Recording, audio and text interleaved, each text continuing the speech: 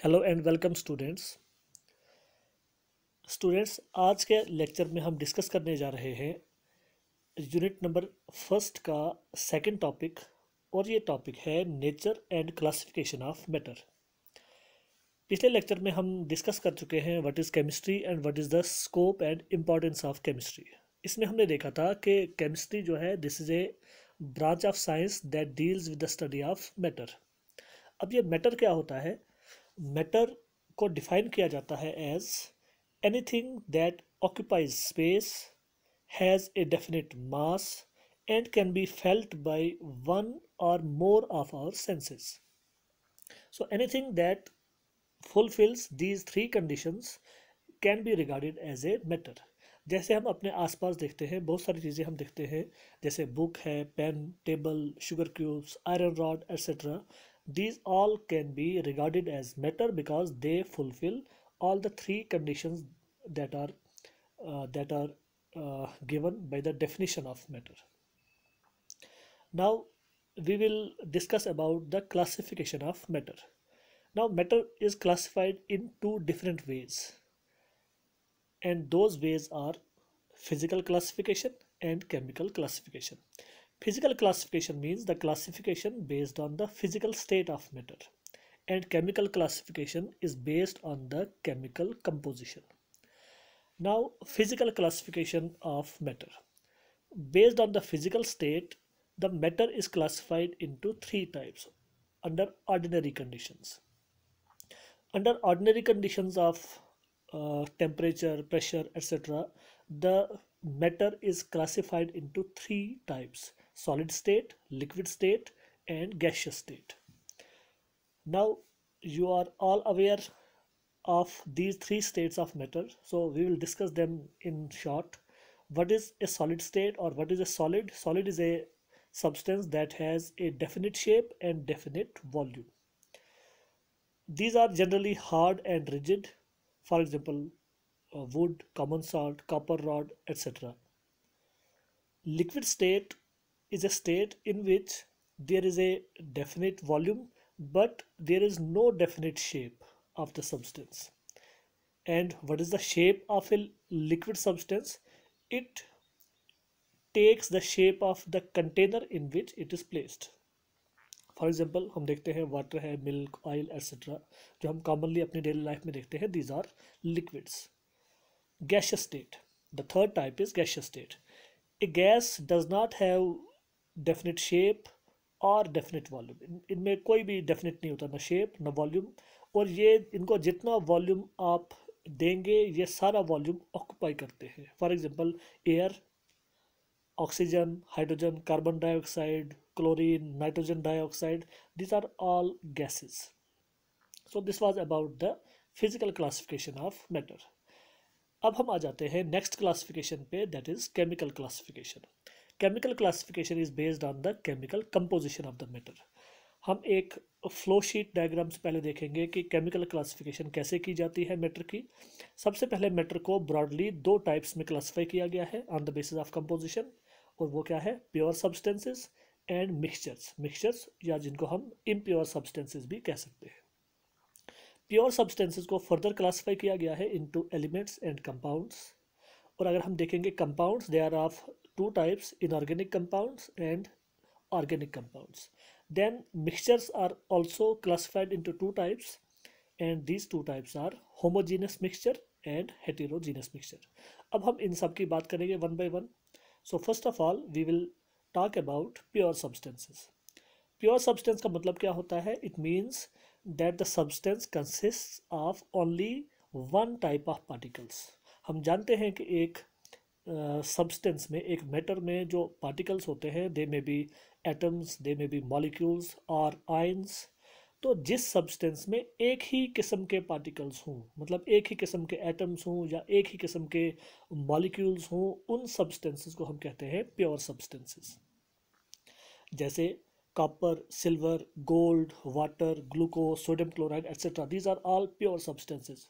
Like आप copper की बात करें, copper is a pure substance that contains only one type of atoms. Silver, gold, उन दोनों में भी यही बात है. They also contain only a single type of atoms. Water में अगर हम देखेंगे वाटर कंसिस्ट ऑफ़ मॉलिक्यूल्स इसके मॉलिक्यूल्स का फार्मूला आप जानते हैं एच टू ओ जिसमें हाइड्रोजन और ऑक्सीजन आपस में मिले हैं इन ए डेफिनेट प्रोपोर्शन तो वाटर में अगर हम प्योर वाटर की बात करेंगे it contains only one type of molecules each molecule has the same composition that is H two O similarly glucose में भी C six H twelve O six these are the molecules of glucose and glucose contains only one type of molecules so Pure substances are the substances which contain only a single type of constituent particles.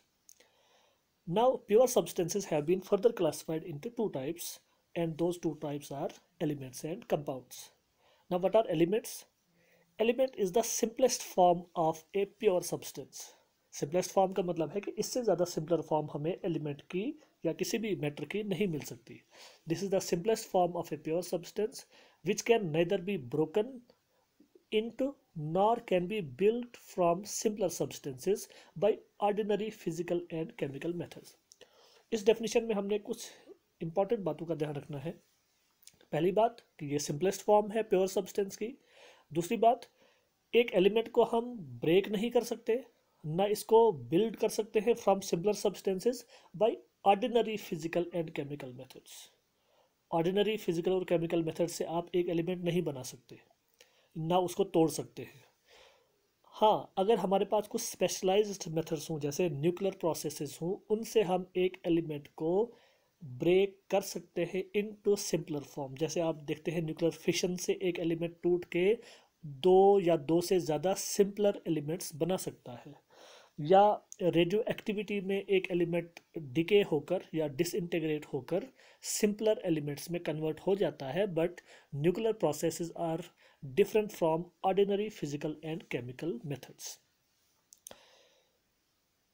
Now element में कुछ examples हैं, जैसे hydrogen carbon nitrogen iron silver etcetera इस तरह से nearly 120 elements हैं periodic table में, और इन एलिमेंट्स को फर्दर तीन टाइप्स में क्लासिफाई किया जाता है और वो तीन टाइप्स क्या है? They are metals non metals and metalloids इन तीन में से अगर हम देखेंगे metals are the most abundant लगभग 80 परसेंट जो एलिमेंट्स हैं नेचर में दे आर मेटल्स और नॉन मेटल्स थोड़े कम हैं near about 15 to 20 percent and metalloids are very less in number ना वट आर मेटल्स मेटल्स हम एलिमेंट्स को जब क्लासिफाई करते हैं into metals and non metals ये हम करते हैं on the basis of certain properties metals में जनरली क्या प्रॉपर्टीज़ होती हैं? They are generally solids except mercury एक मेटल है मर्करी जो रूम टेम्परेचर पे लिक्विड स्टेट में होता है otherwise all other metals are in solid state they are malleable means they can be beaten into sheets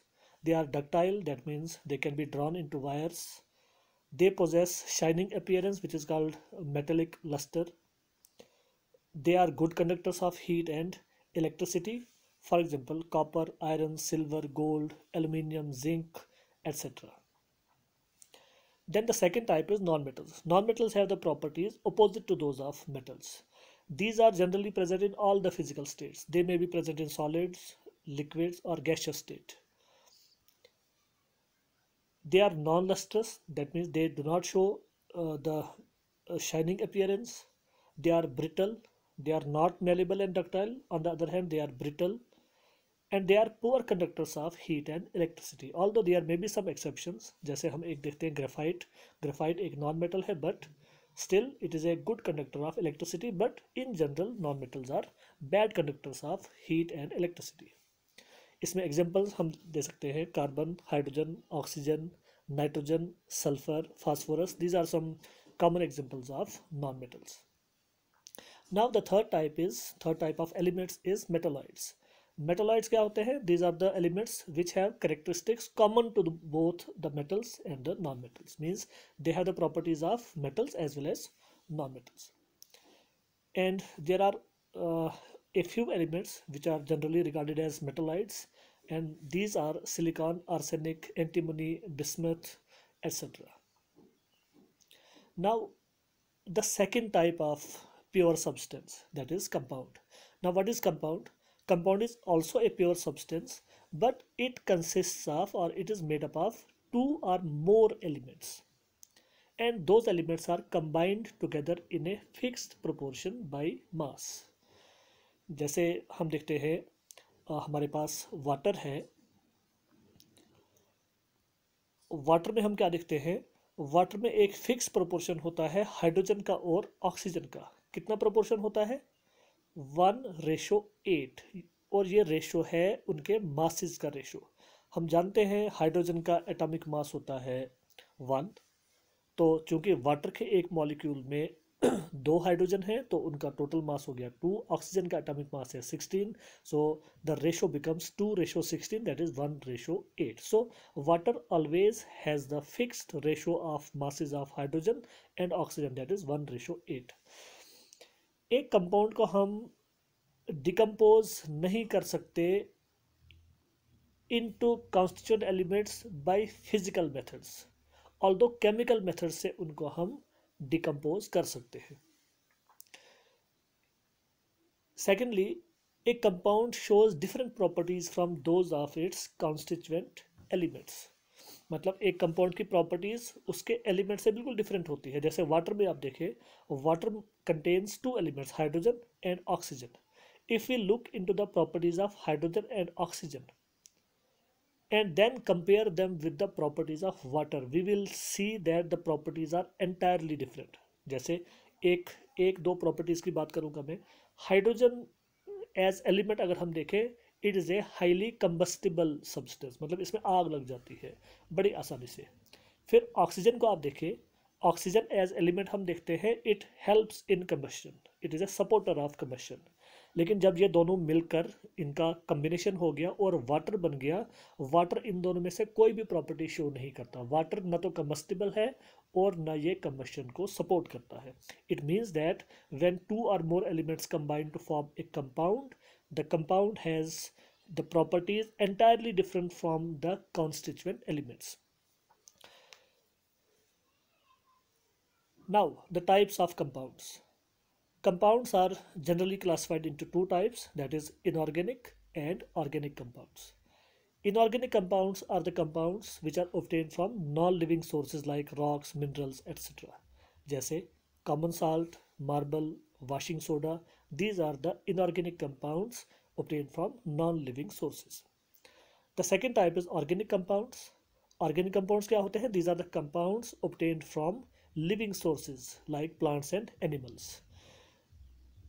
Latest definition जो है organic compounds की वो है that they are hydrocarbons and their compounds hydrocarbons होते हैं the compounds of carbon and hydrogen और उनके बाकी डेरिवेटिव्स ये सारे कंपाउंड्स हाइड्रोकार्बन्स भी और उनके डेरिवेटिव्स भी कहलाते हैं ऑर्गेनिक कंपाउंड्स फॉर एग्जांपल इसमें हम एग्जांपल दे सकते हैं carbohydrates oils fats proteins nucleic acids etcetera these are some examples of organic compounds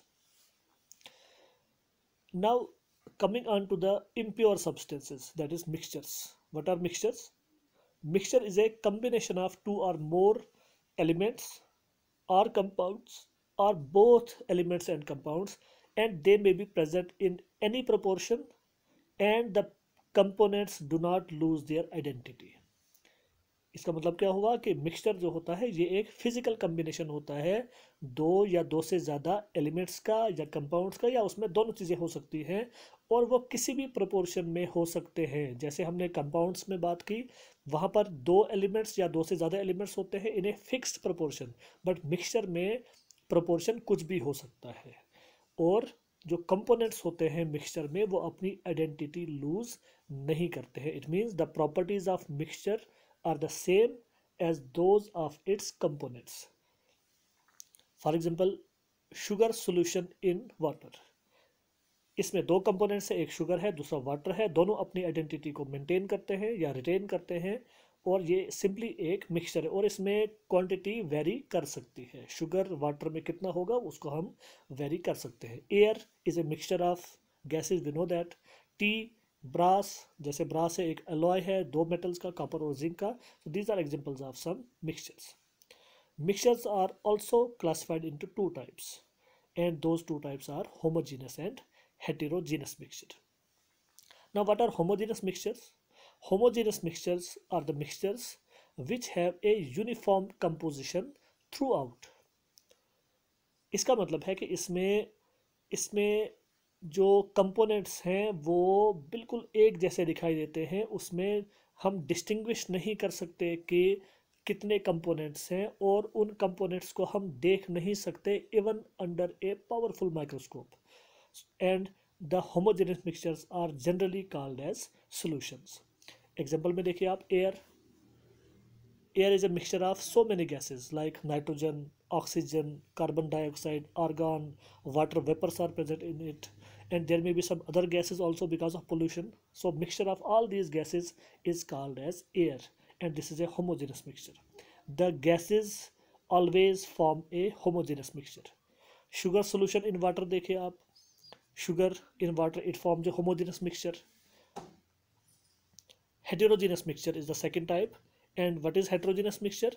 In this mixture the components do not have a uniform composition. Means the components can be distinguished from one another. They are present in different phases and there is a visible boundary of separation between the components मतलब हम naked eye से देख सकते हैं कि components इसमें एक से ज़्यादा कंपोनेंट्स मौजूद है।